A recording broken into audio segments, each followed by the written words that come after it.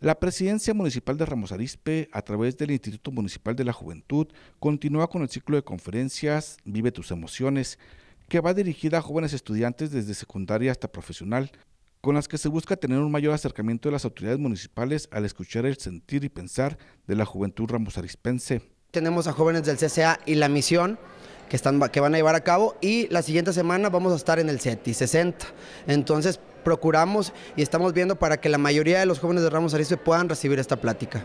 Lo que se busca es que los jóvenes puedan saber cómo se, a quién acudir cuando están tristes, a, qué, a quién acudir cuando están deprimidos, qué hacer ¿sí? cuando están felices qué hacer cuando se sienten cabizbajos. Todo ese tipo de cosas es lo que el coach humanista les pregunta a ellos, es, es la intención que ellos salgan con una conciencia aún más amplia con un criterio aún más amplio y que sepan dónde y cómo pueden tomar decisiones que hay muchas personas que los pueden escuchar más allá de, su papá o de su mamá. Es decir, vemos muchas personas que podemos escuchar, que sabemos escuchar y que a lo mejor podemos dar un consejo, ¿verdad? Entonces, esa es la intención de esta plática.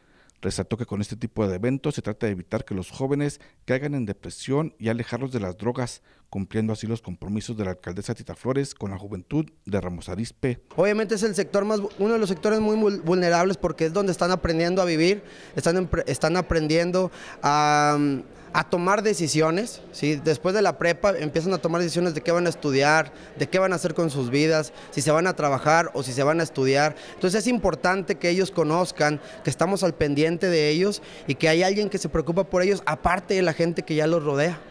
Con imágenes de Mario Hernández para RCG Informa, Carlos Hernández.